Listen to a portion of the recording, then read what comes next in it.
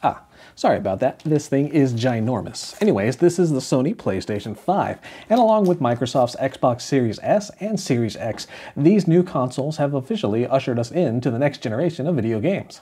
But while these high-powered consoles obviously focus on gaming, the last few generations have proven that these can be capable streaming devices as well. So in this video, we're going to take a look at the state of streaming and entertainment on this new breed of consoles. If you've been eyeing a new Xbox or PlayStation, this video might help. These are 5 things you should know about streaming apps on the PlayStation 5 and Xbox Series S and Series X. Number 1. Do any of these new specs actually help with streaming apps? Okay, if you've been following either console throughout the year, you've likely seen and heard key highlights as far as tech specs, but things like teraflops and real-time ray tracing are much, much more important for video games than they are for streaming apps. So let's take a moment to sum up some of the specs and features that could actually benefit or impact streaming performance on these new devices. First off, the PlayStation 5 and both flavors of the new Xbox have moved from the traditional spinning hard drives of earlier generations and shifted to dramatically faster SSDs, or solid-state drives. And to give you a sense of how much faster this type of storage is, last generation's most powerful console, the Xbox One X, boasted a laptop-grade hard drive not too different from this one, and peak data transfer speeds for these types of drives usually max out in the low hundreds of megabytes per second, and even less in real-world use. Now fast forward to this new generation of consoles, and we've swapped out those laptop-grade hard drives and their spinning platters for solid-state drives. On the new Xbox Series X, Microsoft is claiming data transfer rates of 2.4 gigabytes per second, or as the company puts it, over 40 times faster than the previous console generation's hard drive speeds. And over on PlayStation 5, Sony's making even bolder claims with its custom SSD setup that boasts around 5.5 gigabytes per second of raw data, or around 100 times faster than what the PlayStation 4 typically had access to. Now, to be clear, those huge speed improvements are more important for gaming purposes for things like startup times and level loading, but we'll also take a look at how that faster performance might help with streaming apps as well. More on that later. But beyond storage speed, these new consoles also support other streaming-friendly specs, including support for 4K HDR and even 8K resolutions. However, that 8K output is still TBD on the PlayStation side. Even though it boasts about 8K resolution support on the side of the box, the PlayStation 5 currently maxes out at 4K output even when hooked to an 8K display. However, Sony does say support is coming in the future. Also, some of the more advanced display features offered by HDMI 2.1, like variable refresh rate or auto low latency mode, don't appear to be ready for prime time on Sony's console just yet, but hopefully those are just a few software updates away. And by the way, those particular HDMI 2.1 features won't have a huge impact on streaming apps for what it's worth. One feature that could impact your streaming experience, however, is HDR support. And again, it looks like the PS5 is coming up a bit lacking on this front with support for HDR10, but not Dolby Vision out of the box. Meanwhile, the Xbox Series S and Series X support both Dolby Vision and the Dolby Atmos audio standard. And that's good news for streaming services that support those standards, but as we'll cover shortly, that Dolby Vision support on Xbox doesn't go quite as far as we might hope, but more on that in the next section. And again, it is possible Sony could add in Dolby Vision and or Dolby Atmos support via software update. After all, I do own a Sony 4K Blu-ray player that didn't have Dolby Vision support at first, but was later updated via new firmware. So here's hoping Sony can pull off something similar for the PS5. Number 2. What about 4K Blu-ray support? Okay, so both the Xbox and PlayStation lines offer consoles with and without disc drives. On the Xbox side, the Series S drops the 4K Blu-ray drive and also boasts less powerful gaming hardware for a retail price of around $300. Meanwhile, the PlayStation 5 Digital Edition is essentially exactly like the standard PS5, just with that disc drive removed and coming with a cheaper price tag of around $100 less.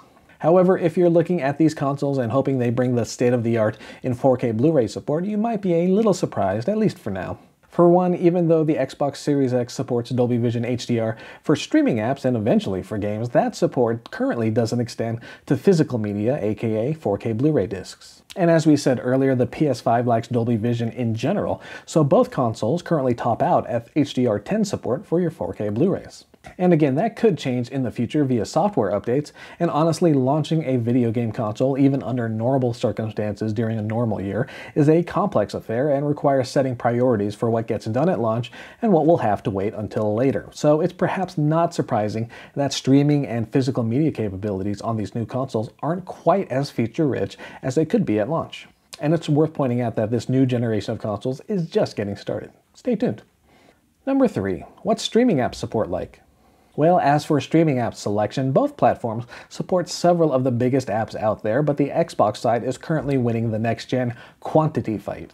In all, we counted at least 50 streaming apps ready to go for the Xbox Series S and Series X at launch, and many of those were probably pulled straight from the previous generation's streaming app library, and you can select the usual suspects like Netflix, Prime Video, Hulu, and YouTube, as well as newer big names like Disney+, HBO Max, and Peacock. And beyond that, you'll also have access to options like CBS All Access, ESPN, Plex, and others. On the Sony side, hey, remember in the previous section when we mentioned companies focusing on gaming performance first and hopefully beefing up streaming features later? Well, that also applies to the PS5 streaming app selection as well. At launch, the PlayStation 5's list of supported streaming apps topped out at 20. And while that's significantly fewer than what's available on the Xbox line, you can see many of the big names supported here as well, including, again, Netflix, Prime Video, YouTube, and Hulu. And again, like the Xbox platform, you also get the new Apple TV app. Now that number also doesn't match the streaming app support you can currently find on the previous console, the PlayStation 4, and it's entirely possible many, if not most of those apps will eventually find their way to the new console over time. And of course, we'll update you as we learn more as these consoles evolve over at CordCuttersNews.com. Number 4. How do streaming apps perform on these new consoles? Okay, time for some benchmarking. Let's see if those newfangled SSDs and the overall horsepower found in these new consoles can translate into strong streaming app performance. And one quick caveat to the benchmarking we're about to discuss, I was unable to get access to either the Xbox Series S or Series X before we produced this video, so I was unable to run our typical App Suite benchmarks on either machine, but I'm hoping to get those numbers soon and I'll update the video description down below when I get that data in. And with that noted, let's get on to benchmarking. And if you've seen our recent hardware videos, You'll know this drill already, so feel free to sing along if you already know the words. We load up a series of apps on each device and time how long it takes to load each of the apps. We run that suite at least three times to get a solid average, and then we compare our findings. And for this matchup, we had to adjust our app collection slightly based on what's currently available on both consoles. So this test starts with Netflix, then YouTube, Prime Video, Disney+, Hulu, ESPN, Pluto TV, Crunchyroll, and then the new Apple TV app. And then lastly, we load up Netflix one more time at the end to see if the hardware can get the app up and running any faster the second time through.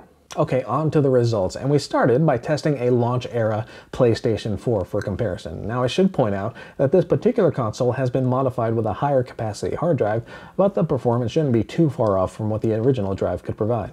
And with that in mind, how did the old school PS4 do? Well, not great. Overall, the PS4 scored a rather pedestrian 172.5 seconds to complete our test. But what about the new consoles? Well, on the PlayStation 5 side, we managed a much, much improved score of 90.24, which compares well to some of the higher-end dedicated streaming devices on the market. In fact, we ran the 2020 Roku Ultra through this same set of apps, and Roku's top-end streamer came away with a similar time of 85.17 seconds. And frankly, if it weren't for the strangely slow-loading Disney Plus app on the PS5, Sony's new console likely could have surpassed the Ultra's overall time. So in a nutshell, not bad for a game's first machine. In the end, streaming app performance is rather impressive on these new consoles, and we can't wait to see more app support for both platforms in the near future. Number 5. So can these new consoles cut it as do-it-all streaming boxes? Overall, it should be pretty clear that none of these consoles, even the lower spec Xbox Series S, comes even close to breaking a sweat when running these streaming apps. They each have performance to spare when it comes to this use case, and compared to previous generations, these new consoles tend to operate much, much quieter, which hopefully leads to less distracting noise when you're, say, watching Netflix or Disney+. On the app availability front, it's clear the Xbox line has the greater number of compatible streaming apps right at launch, but I highly doubt that Sony's deficit in this category will last all that long, especially considering how many streaming apps eventually came to the PS4. And like we've said a few times in this video, odds are Microsoft and Sony had to prioritize a few things to launch their respective platforms on time this year, and gaming understandably took precedence. And honestly, if you're trying to decide between these two platforms based on their streaming service support alone, well, first I'd suggest you might be going about this the wrong way, but I'd also say make your choice based on the games you'd like to play first. Even Sony's smaller streaming app lineup still includes many of the big name players, and both platforms will only improve over time.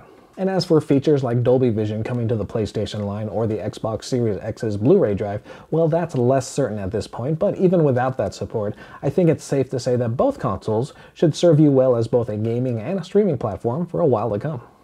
But again, this generation is just getting started and both companies are still working out a variety of kinks on their new hardware. Microsoft has a running list of known issues on the support page, which includes issues like pixelated frames on the Peacock app and a note that teams are still working on the issue. Meanwhile, I experienced a system crash during our streaming app testing on the PlayStation 5, and Sony and its first-party studios are also working on their own bugs and issues with their new console as well. So if you've been eyeing any of these new consoles, keep a close, close eye on future system firmware updates to help remedy issues. And there you go, those are 5 things you should know about streaming apps on the PlayStation 5 and Xbox Series S and Series X.